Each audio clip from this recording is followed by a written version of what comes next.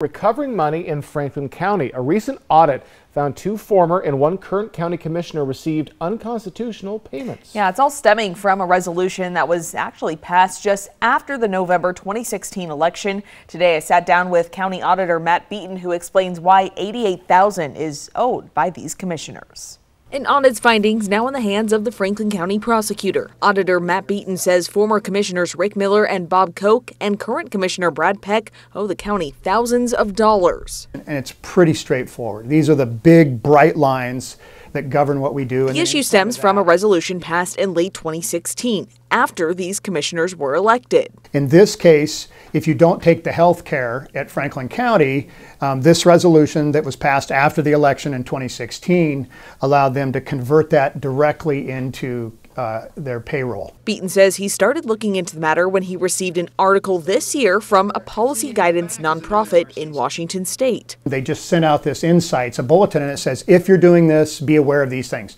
That's how it works. They're not a political organization. Beaton says it's technically so legal to do, but in this case, the move went against the Washington state constitution because the salary increase happened after these members were elected. The raises weren't legally reviewed. The legislative body has got to be careful of that because per our constitution, um, those that are in charge of the public treasury cannot, while in office, increase because they're given the fiduciary responsibility of dispersing public money. And when the legislative body has that ability um, to spend the public's money, um, the responsibility is a higher bar. Beaton's audit found Commissioner Brad Peck received $40,000, Koch 20,000, and Miller just over 21,000.